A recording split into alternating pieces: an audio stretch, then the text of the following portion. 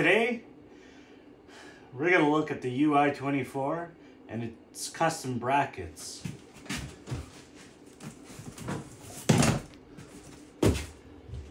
Just got it shipped in.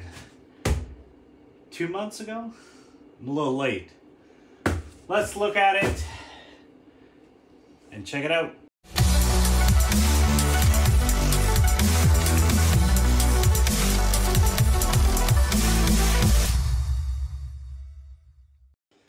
All right, guys.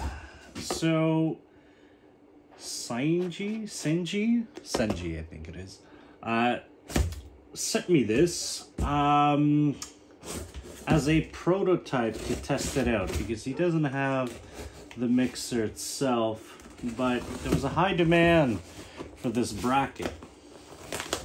So, let's unbox it. Check it out. So from my understanding, he has a CNC at home.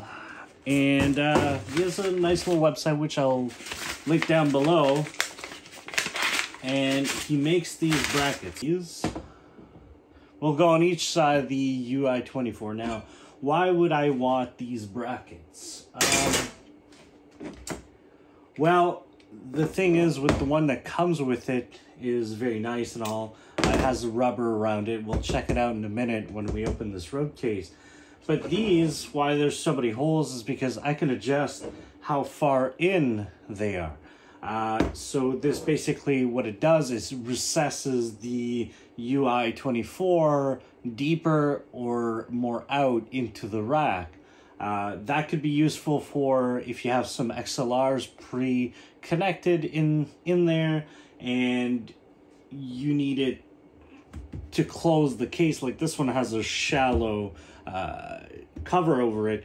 So an XLR would have to bend, um, my finger doesn't bend that way, would have to bend for the cover to close or even not be able to close. So uh, I know there's 90 degree uh, XLRs you can get, which is what I have on certain things in this one, uh, as well as my other rack that I have.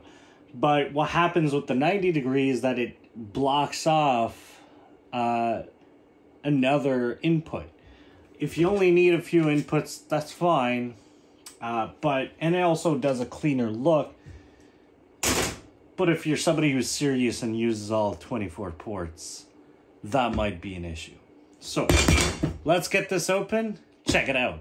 So as you can see, I have a 90 degree here as well as here. So this one's not so bad because it only blocks off the knobs that you quite honestly never use. But this one, as you can see, it's blocking number 11.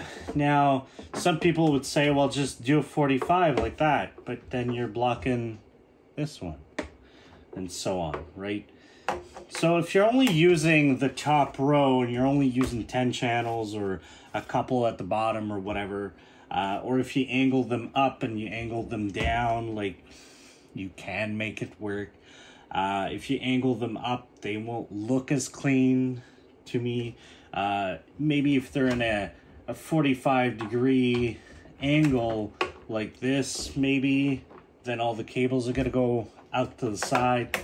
But I don't feel like that does really much of a clean job sometimes. And again, it all depends what you're trying to look to doing. So what we'll do is we'll take this apart, we'll replace the brackets, and we'll see how it looks.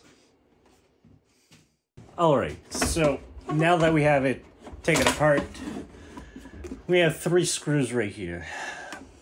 One thing I don't like about this, uh, well, how can I say it? I'll just show you. Give me a second. This is what holds your whole entire rack, which isn't much. I feel like uh, Soundcraft could have made it a little stronger. I mean, there is three of them, so it's pretty solid, and I haven't heard anybody having issues with strength, but I don't know. Seeing the size of the screws, worry me a little bit. All right. So let's compare these together. Oop. So they're pretty much the same. The gap is a little bigger with these, uh, which I believe could be kind of useful for different brands of connectors. They're a little fatter, or if you have a lot of cable you need that extra room, that could be kind of useful, especially if you have 24 inputs going through these. Uh, in certain cases, not everybody needs that much room, but you get a little more. You get maybe like about a quarter inch more or so. Yeah. Now you don't have the rubber boot on this one, but quite honestly, do you really need it? Now I think I have the, yeah, I have the right side. So let's get the left side.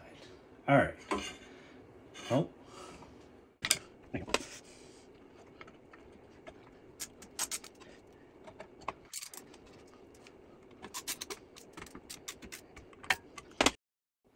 All right, so I have these installed. Whoa. Look how much deeper that's going to be. Let's check it out. Oh God. Yeah. That's freaking cool. All right, let's rack it up. Put the screws back in. Use the right bit this time.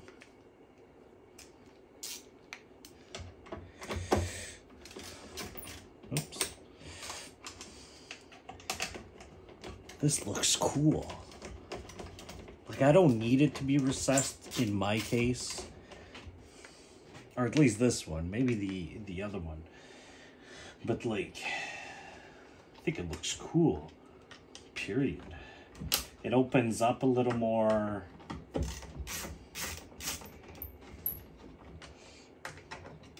Probably just going to leave it to be honest, even though I have the 90 degrees.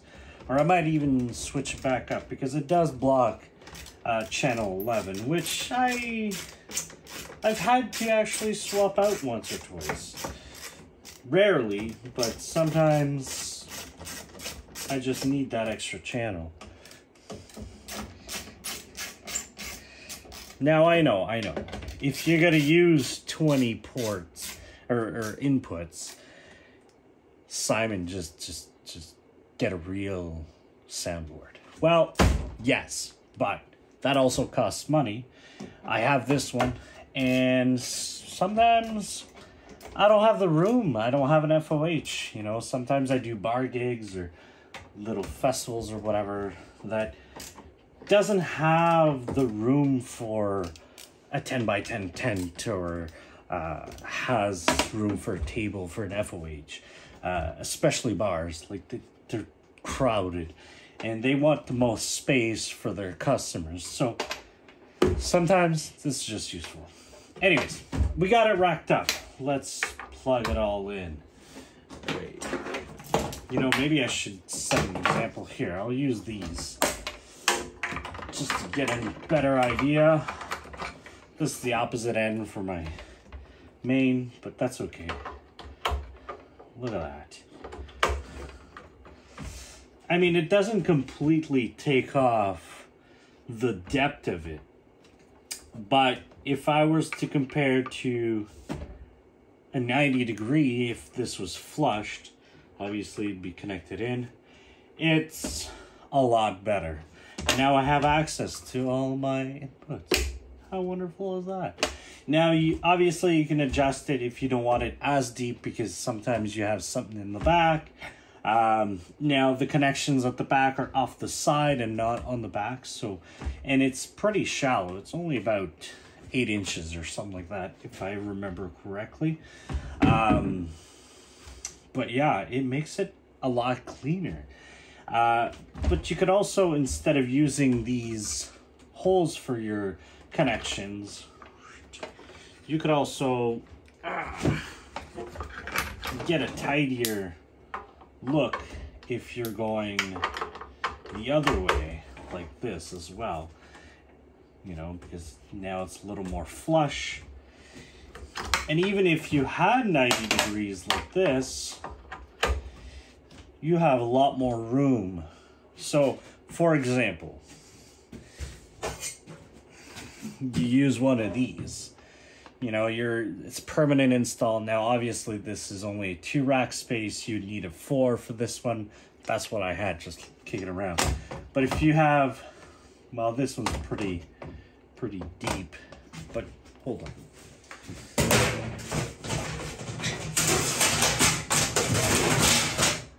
Here's a better example.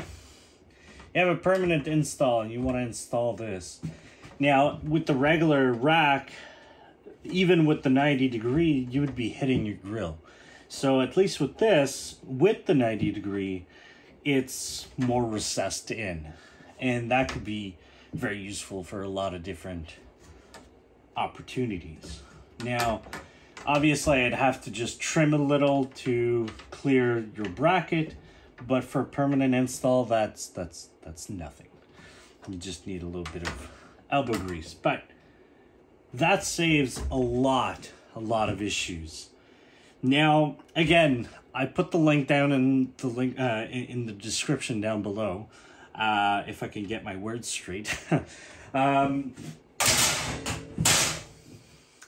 now he's local to the Ottawa region, uh, which is about an hour's drive from where I live. Um, and I don't know where the box went. Oh, over there. Right over here. So, Senji Design, he does uh, brackets, rack ears for the Soundcraft UI 24 and uh, 16. I believe he's going to be looking into making some for the UI 12, which isn't rack mountable, but it could be. So, because it has the same screws off the side. So, uh, he's designing rack ears for that. Obviously, the rack ear would be the same on one side, but the other side would have to be a bigger blank.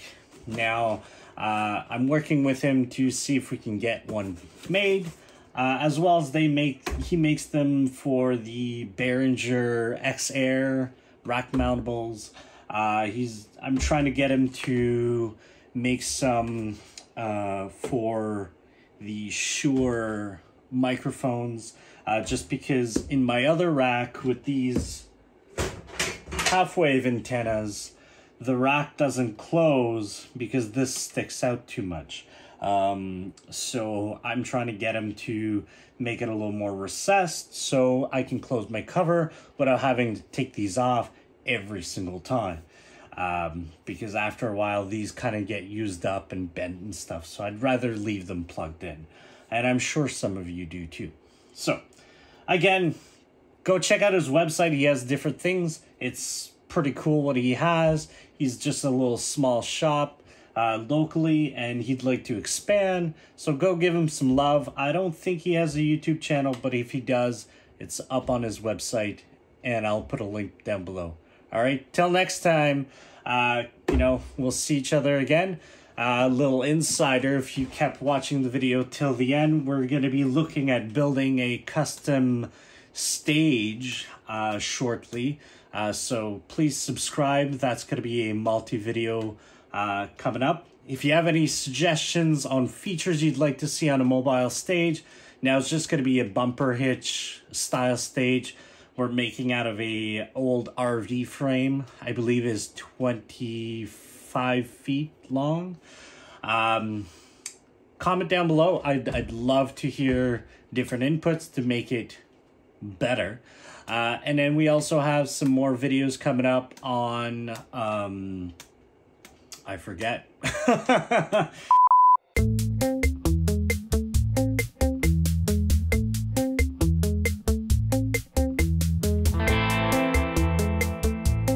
I remember.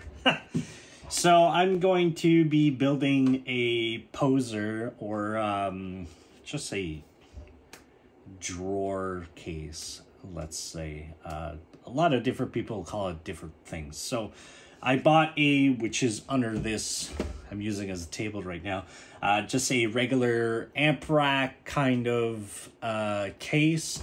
Uh, it doesn't have any wheels, so we're gonna add some wheels. Pretty simple to do, but we'll do video about it for those who don't really know how to do it, um, or at least solid.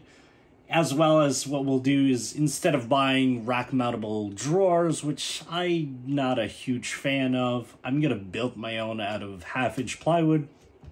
So we're gonna make a video about that. Uh, we also got slides for them, and these are push open, which is awesome. Uh, so that if it is open and it's slightly slanted, it's not going to open up on you because it's locked and you just got to push to open it. Now, uh, these are pretty cool. I got them in black, which was kind of cool. We don't have that stainless steel looking like. Um, so yeah, subscribe for that. That might be a two-parter video or one big video. I'm not sure yet. Um, but stay tuned. Click like, subscribe. Uh, it helps grow my channel uh, enormously, uh, especially that we're just starting off. And um, I'd love to be able to make more videos for you guys. So, till next time, keep it real.